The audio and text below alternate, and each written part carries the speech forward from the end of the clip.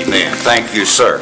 All right, let's go to the book of James, chapter 1, if you will, please. The book of James, chapter 1. I want us to read beginning in verse 1 and go down through verse 12, and uh, we'll continue looking into uh, the book of James. And we're going to talk about dealing with temptation, dealing with trials, uh, Satan's attack, and uh, in the book of James, he deals uh, with these things. And he wants the, God wants us to be completely dedicated to him. And he wants to use us in a marvelous way. And uh, so I want to ask myself tonight, how is the Lord using me through the week? How is he using me through the week? Am I making inroads with folk? Am I sharing the gospel with folk? Am I praying for folk? Every day, my life and yours should be a light. Amen? Let your light so shine before men that they'll see your good works and glorify your Father which is in heaven. I love the book of James. So let's begin reading here uh, in verse 1. James, a servant of God and of the Lord Jesus Christ to the twelve tribes which are scattered abroad, greeting. My brethren, count it all joy when you fall. And remember, we talked about this is, means when you come up on uh, these divers temptations, many and varied temptations. Knowing this, that the trying of your faith worketh patience. God knows how to work in our life if we'll let Him. You agree with me? You agree with me? God wants to work in our life if we will let Him, and He will. If we'll open up our heart, open up our mind, uh, and yield ourselves to Him, uh, then He will work uh, in our life, even though we fall upon these many different uh, temptations. Now, God doesn't tempt anybody, but He allows temptations to come to teach us. And we'll get into that uh, as we go along. Verse 4 uh, But let patience have her perfect or mature work, that you may be perfect, once again, mature, and entire, wanting nothing. If any of you lack wisdom, let him ask of God that giveth to all men liberally, and upbraideth not, and it shall be given him. But let him ask in faith, nothing wavering. For he that wavereth is like a wave of the sea, driven with the wind and tossed. For let no man think that he shall receive anything of the Lord. A double minded man is unstable in all of his ways. Let the brother of low degree rejoice in that he is exalted, but the rich in that he is made low. Because as the flower of the grass, he will pass away. For the sun is no sooner risen with a burning heat, but it withereth the grass, and the flower thereof falleth, and the grace of the fashion of it perisheth. So also shall the rich man fade away in his ways. Blessed is the man that endureth temptation. For when he is tried, he shall receive a crown of life, which the Lord hath promised to them that love him. Let no man say when he is tempted, I am tempted of God, for God cannot be tempted with evil, neither tempteth he any man. But every man, when he is tempted, is drawn away of his own lust and enticed. And here's that strong couple of verses here. Then let lust have, when lust hath conceived, it bringeth forth sin. Sin, when it is finished, bringeth forth death. Do not err. Don't move away, he says. Don't move away. Do not err, my beloved brethren. Every good gift, every perfect gift is from above and cometh down from the Father of lights, with whom is no variableness, neither shadow of turning. Now, there's a lot in those verses. A lot there. And we could spend a lot of time there. Uh, I want to just uh, share some opening remarks with you. I want you to think about the perfect believer and suffering. The perfect believer and suffering. Now, that doesn't mean sinless. That's not what I'm saying. What I'm saying is here is the mature believer. He's growing. Well, when you begin to grow, Satan will not like that. Have you ever discovered that? You just sort of dilly around and dabble around in the Christian life. Satan won't bother you. but you really put on your boots, put on your big boy clothes, you really get going. You know what Satan's going to do? He's going to take notice of you. He probably won't take notice of you. But until you start really serving the Lord, you really get into the Word, you begin to memorize Scripture. You start doing all of that. Then you start witnessing. And God begins to use you. Here comes the devil with throwing everything that he can at you. Now, he knows enough about me already. And he knows enough about you already to make an attack. But when I really get zeroed in on serving Him and you do the same, then here He comes. How many of you have experienced waking up on Sunday morning, Saturday night you were looking forward to going to church? You wanted to get there. You wanted to be there for the singing. You wanted to be there for the fellowship. You wanted to be there for the preaching. But you're just wore out. Or you just don't feel good. Or you're upset about something. Well, I think I'm just going to lay in bed today. I think I'm just going to stay at home today. That's Satan. That's Satan. And uh, it, that works for him in a lot of different areas. And so we want to understand that the Lord really wants to use us, and He's willing to give us and can give us the power we need to be victorious. And let me say this. Tonight, I would say this all of us here tonight are at a different level of spirituality, probably. Uh, you ladies and you men, and we have our calling. Ladies, you have a calling from God. You, you have a calling from God. Men, we have a calling from God. And once we find what that calling is and we begin to live in that calling, and we begin to make progress, then here comes the devil. Here he comes. And will do anything that he can. And so in verse 1, look at it again. James, a servant of God and the Lord Jesus Christ, to the 12 tribes scattered abroad, greeting. Now these were saved men and women, but because of persecution, they were scattered abroad. They were scattered abroad they were having a tough time. Now, before their salvation, Satan left them alone. But then their conversion, and as they began to grow, Satan began to watch, keep an eye out, and begin to formalize a plan. I keep bringing this up because it's so important. Do you understand that next to God, Satan is the most powerful and most intelligent being in the universe. Think about that now. Next to God, Satan is the most powerful, the most intelligent, resourceful being in the universe. And so we are no match for him. We are no match for him. And so we have to be filled with the Spirit, walking in the Spirit, we need to know the Word of God. In the last few years, I've started doing something with my prayer life.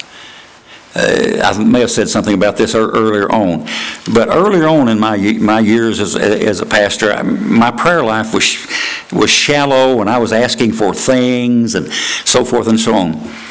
But I've learned in these later years that the way God seems to really bless me in my prayer life is when I pray Scripture when I pray Scripture.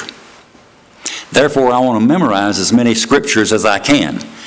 I want to know what Scripture to go to that relates to my temptation. See what I'm saying?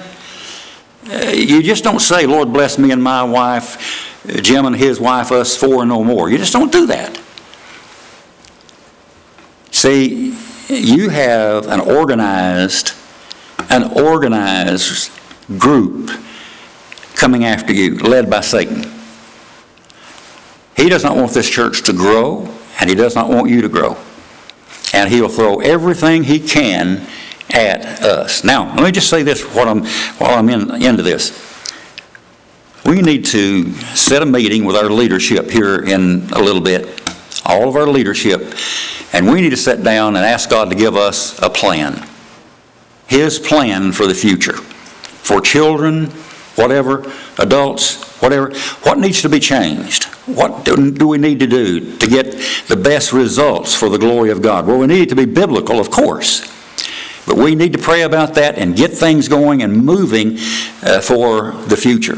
You agree with me on that? But when we do that, Satan, will, he- he's already thrown everything he can at us, but that when we do that, then he will go after us. And he'll go after you. But here in verse 1, I, I love this passage. James, a servant, a bond slave of God, and of the Lord Jesus Christ, to the 12 tribes which are scattered abroad, greetings. Now, he had received information from these people about the persecution that they were having. And so he's writing back to them to encourage them and to give them advice as to what they can do to keep going. And so, isn't it interesting that in verse 2 he comes up with this statement, my brethren? And that phrase there, my brethren, is a very kind, sweet uh, way of saying things. I just wish that we Christians could really be of one much more than we are. Work together better. You know, you can get a whole lot more done with a lot of people working together than you can with little picky things here and little picky things there and so forth and so on. And so he knows what's going on. And so he says, My brethren, count it all joy when you fall into divers temptations. That's good news. They're suffering. They've been, they, they've been run out of their out of their land. Their homes have been taken from them. Their children, their, relatives have been persecuted. Many of them has died. And so he writes them back and, and he says, Count it all joy when you fall or come upon divers temptations. What do you think they thought when they read that? What do you think that the leader of the group read that to, the, to this group, these groups that were scattered abroad? I'm sure that they sat there and they said, What? What?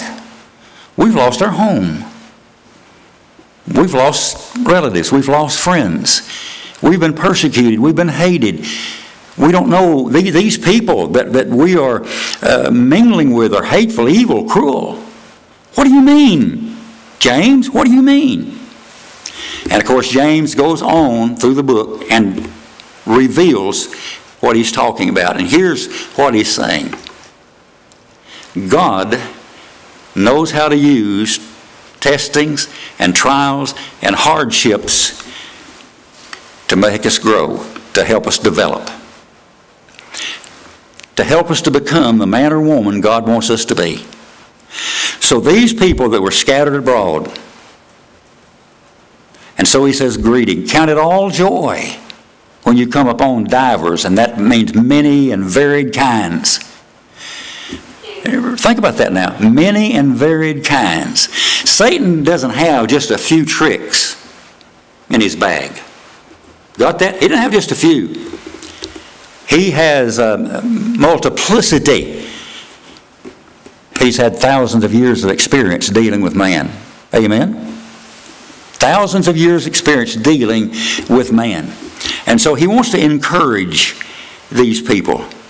And then he goes on to say in verse 3 knowing this, that the trying of your faith worketh patience. And then I love verse 4 but let patience have her perfect work. When you fall upon divers temptations, and Satan throws everything he has at you, you will be driven to the Word. You'll be driven to your knees. You'll be driven to church and the people of God, where you can sit together and study the Bible and pray together, and you're there for one another. Listen, that's what this church is for. So we can be here for one another, not against one another, but for one another. And the old devil just loves to get in a church and split things up and have people at variance with one another. Listen, you'll never overcome Satan like that. We'll never have victory over him like that. And so he says, Let patience have her perfect work, that you may be perfect and entire, wanting nothing.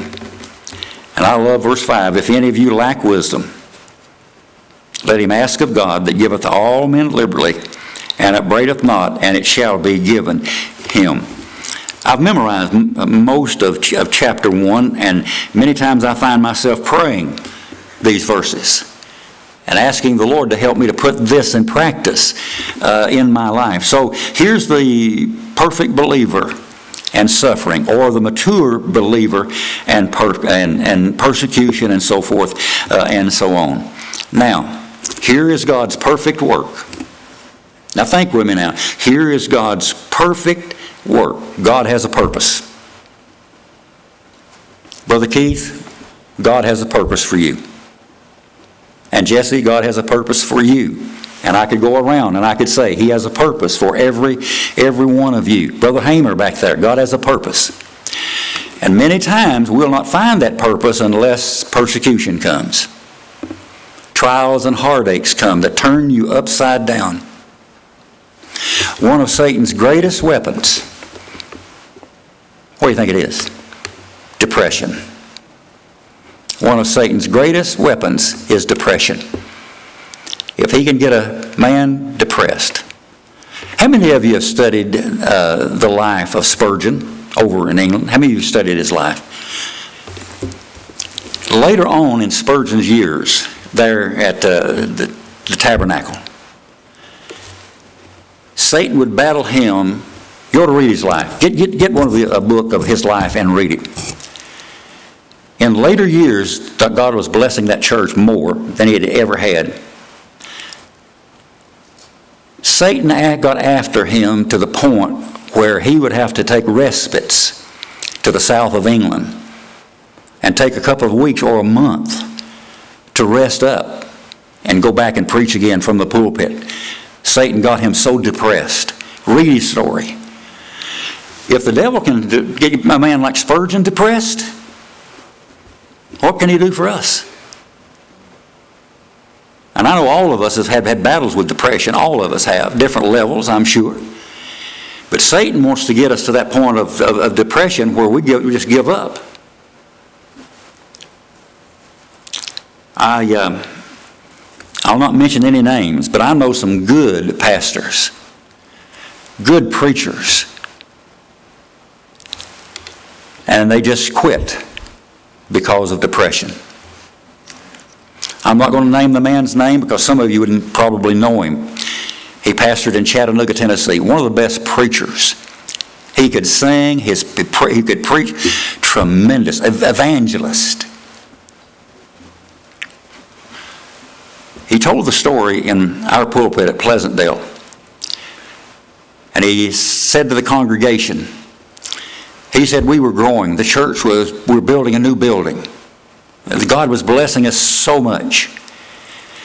And he said, through the week, I had no time for my wife. I had no time for my kids. I had no time for anything but stay on the building, stay, and, and all of these things that were going on.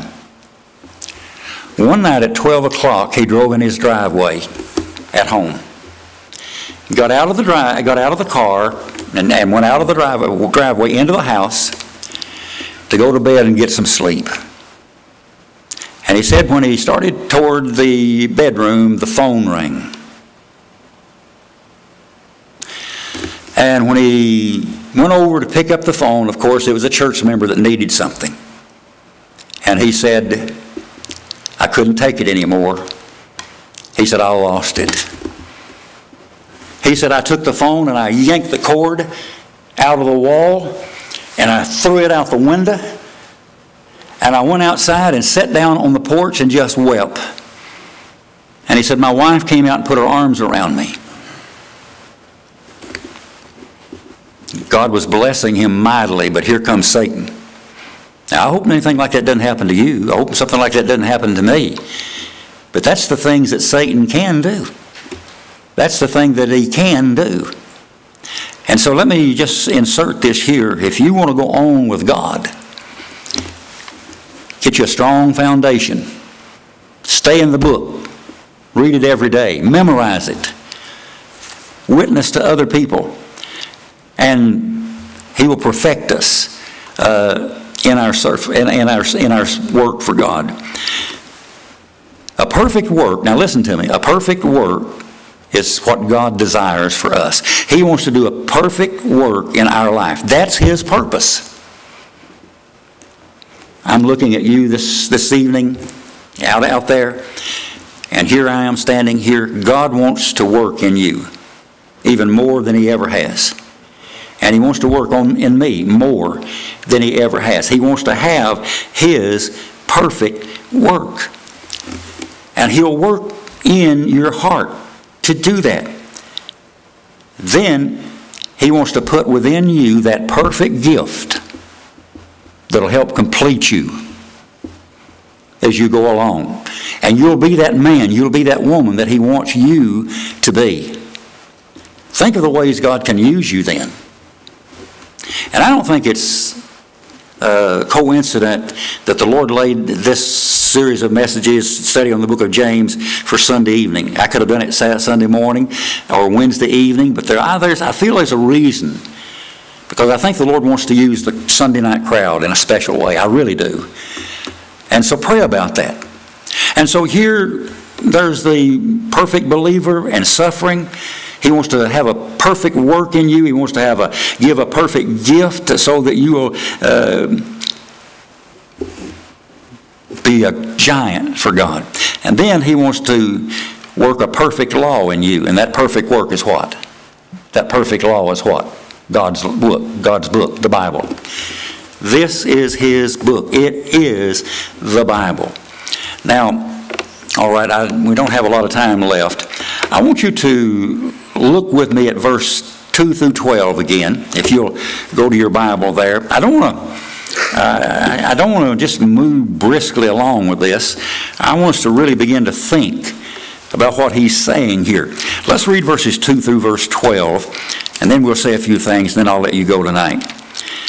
My brethren, when I read, uh, when I read uh, these different authors, uh, Paul and, and all of them, you, may think I'm sort of silly, but as I read, I try to think about how would they say that? How would they sound as they were saying that? That's, that's just me. And uh, I want to get to get a hold of a man's heart, of the man, the thrust of a, of a man's love for the Lord and desire to serve, so I can put that in in my heart. And more, the devil will try to keep you from that. He'll fight you. You've got to be ready. All right. My brethren, count it all joy when you fall into divers temptations, knowing this, that the trying of your faith worketh patience. But let patience have her perfect work, that you may be perfect and entire, wanting nothing. If any of you lack wisdom, let him ask of God, that giveth to all men liberally, and upbraideth not, and it shall be given him. But let him ask in faith, nothing wavering. For he that wavereth is like the wave of the sea, driven with the wind and tossed. For let not that man think that he shall receive anything of the Lord. A double minded man is unstable in all his ways. Let the brother of low degree rejoice in that he is exalted. Let me stop there a second. God can use anybody. It doesn't, education, uh, physical prowess, it doesn't matter.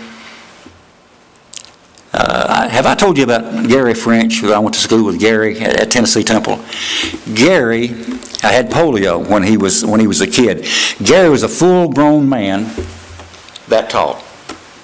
Full-grown man, that tall, and he had crutches. And he would walk, and we would try to help him, and he didn't want no help. Leave me alone. Leave me alone. I can get. I can do it.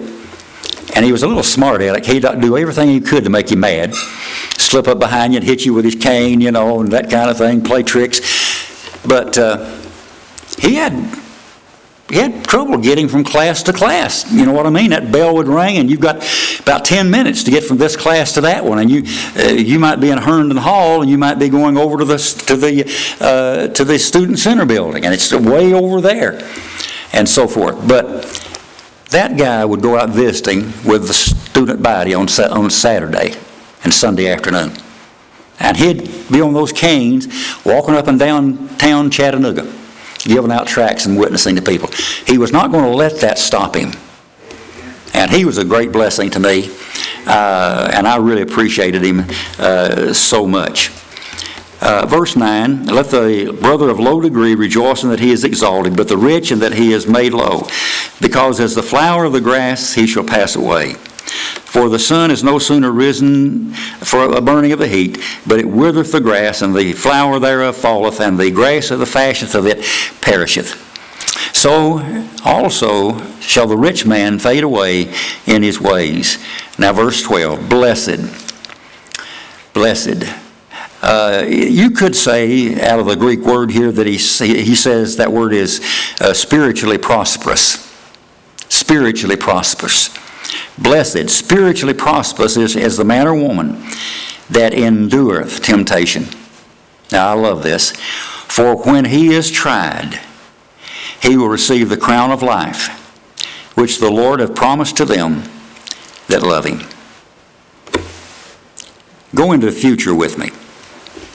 Go into the future with me, and we're at the judgment seat of Christ. And we're giving an account for what we've done. And here are the men and women that have been faithful, and they receive this crown of life. And you, maybe you will receive that crown of life. Maybe I will. Wouldn't that be a tremendous thing?